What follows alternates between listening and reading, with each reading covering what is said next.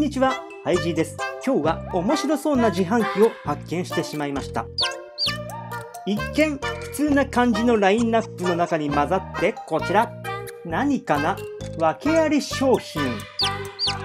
こちらが1貫100円。訳ありのくせに隣のポカリと同じ値段。さらにまた普通のラインナップを一旦挟んでからまた訳あり100円。そして下の段を見ていきますと今度は訳あり100円だらけ。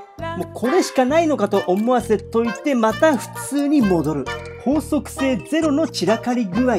さらにもう一個下の段を見ていきますと今度は訳ありだらけ。もう訳ありしかありません。で、値段の方は50円の訳ありと70円の訳ありの2パターンありますね。そこで今日は100円の訳ありと70円の訳ありと50円の訳あり1貫ずつ買ってそれぞれ何が出るかをチェックしてみたいと思います。100円入れましてわ待って100円の訳あり売り切れだうわいきなりきあ大丈夫だ危ねえ企画倒れかと思ったらえー、でも結構100円ゾーン売り切れてます。ではとりあえずじゃあこの100円買ってみます。はい。さあ何が出るんでしょうか。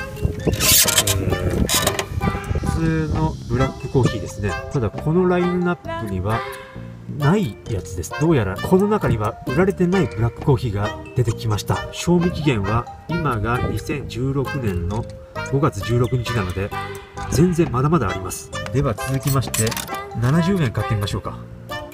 70円も結構売り切れてるね。せーの、ボン。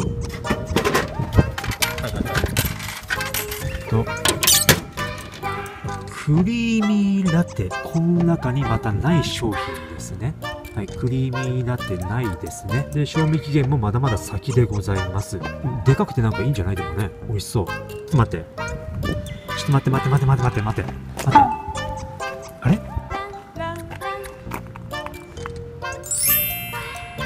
ちょっと40円得してんじゃない俺。ではラスト50円買ってみましょう。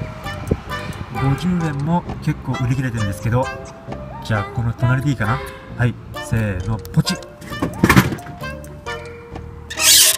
えっと、はい、50円はアイスクリーミーラテでした。